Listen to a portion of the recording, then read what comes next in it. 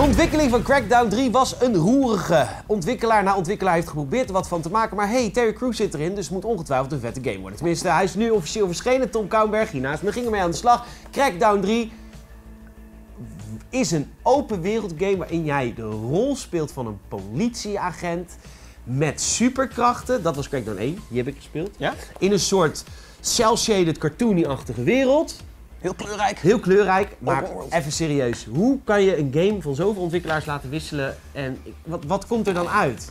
Ja, Wat er uitkomt is echt een, een supergoede game als hij op de Xbox 360 was verschenen. Dat is een beetje mijn hele uitgangspunt wat ik er continu bij heb. Het is oprecht gewoon best wel een leuk spel, maar in alles is het zo verouderd en het is ingehaald door de tijd. Ze hebben eigenlijk diezelfde game gemaakt als Crackdown 1. Weet je, open wereld, superkrachten, gekke dingen doen, veel explosies, veel vrijheid. Maar het is gewoon, die hele open wereld is, er is niks in te doen, zeg maar. Behalve gewoon echt systematisch allerlei kleine, niks zeggende, dezelfde missies gewoon afronden. En kijken, oh daar is nog een oorp. Oh dan pak je die oorp op. En oh, er is er weer een oorp te zien. Oh, pak je die oorp op. En that's it. nu weet ik uit eigen ervaring dat ik daar weer heel erg aan toe was toen ik Spider-Man ging spelen. En, want Spider-Man is een beetje zoals de Assassin's Creed games vroeger waren, weet je wel? Maar dan met een iets beter verhaal en veel toffer verteld.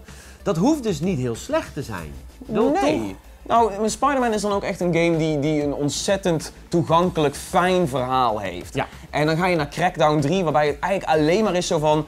Yeah! Explosies! En dat is de hele focus van de game, weet je. Het draait alleen maar om die open world fun. En heel eerlijk, ja, het is leuk om een beetje rond te zoeven en af en toe wat sterker te worden. Maar het voelt niet als een superhelden game, weet je. Het is ingehaald op het hele open wereldfront. Het is ingehaald op het verhaalfront. En ook op dat superheldenfront. Ook al ben je dan een agent met gewoon een symbiotisch pak of zo. Ook daarin zijn ze gewoon genadeloos ingehaald door een heleboel concurrenten. De Saints Row. Saints Row heeft bijvoorbeeld ook al een heel, heel, heel twee delen gehad waarin je een soort van superkrachten hebt. Je kunt supersnel rennen, over de daken zoeven en zo. En zelfs dat speelt lekkerder dan zeg maar dit wat vijf jaar na dato verschijnt. Ages of Mayhem had een beetje hetzelfde probleem. Agents of Mayhem is, is ook weer zo'n superhelden open wereld. Ga lekker vrij je ding doen. Oké, Ja. maar goed, wat ik, wat ik nog wel weet van Crackdown 1, wat ik wel tof vond, was het aantal voertuigen wat je had. Dat kon je allemaal wel leuk kiezen. Dat zit er nog steeds in. Ja, er zit een Werkt stuk het, rijdt het, Het lekker? rijdt vreselijk. Er zijn races en, de, en waar, ik vraag me af waarom de races er zijn, want, want de auto's besturen voor geen reet. Je hebt, de agency heeft zijn eigen supersnelle auto, maar die is zo laag dat hij op elke kiezel zeg maar al over de kop vliegt. Eh, het heeft geen grip, het heeft geen weet je wel, momentum dat je denkt van oh yeah, misschien wel iets meer op de voet, dat, dat wel. Je kunt af en toe voel je wel een lijpe badass als je weet je wel, toffe moves maakt tegen vijanden. Je, je, je gooit ze van, weet ik veel, je gooit iemand een ravijn in of zo, dat is leuk. Maar in de auto's is het, is het gewoon weet je wel. Dus, en- en- en wat voor superkrachten heb je dan bijvoorbeeld? Je kan Ja. iemand heel hard slaan. Of Ja, je kan ja, hoog springen. Ja, en af en toe kun je wat dingen optillen. Dan kun je dan ook sterker in worden. Dus dan kun je niet alleen zomaar een, een, weet ik veel, een brievenbus optillen, maar ook een auto een keer. Of een, of een grote baddie, weet je, als een lijk weggooien. Maar het is ook gewoon in het schieten en in de actie die je hebt. Het, is, het, het voelt niet meer van deze tijd. Het voelt niet eens, zeg maar, heel erg current. Ik, echt, het, en het is, het is een prima spel als je gewoon een completionist bent. Als je gewoon die map ziet en je ziet al die icoontjes en misschien met een vriend heb je zoiets van, oh, we gaan een avond gaan een beetje rondstunten strepen wat van die missies af, weet je. Dan heb je twee, drie avonden fun. Het is ook niet zo'n hele lange game. Maar je doet het niet voor het verhaal en je doet het niet voor zeg maar, het super epische gevoel van een badass agent zijn. Want dat krijg je wel een beetje, maar ook weer niet dat je denkt van top notch of zo.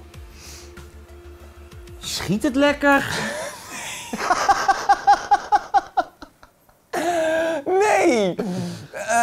Er, zijn, er zijn een aantal wapens dat je denkt van, oh weet je, dat is een pistool en een sniper. Maar uiteindelijk kies je toch alleen maar voor de drie verschillende rocket launchers en granaatwerpers. Want die, die, die zetten wat chain reactions af en dat voelt af en toe wel lekker. Maar het is niet dat je denkt van, weet je, sommige vijanden zijn er bullet sponges en dergelijke. Eh, de, de eindbazen zijn ontzettend ongeïnspireerd.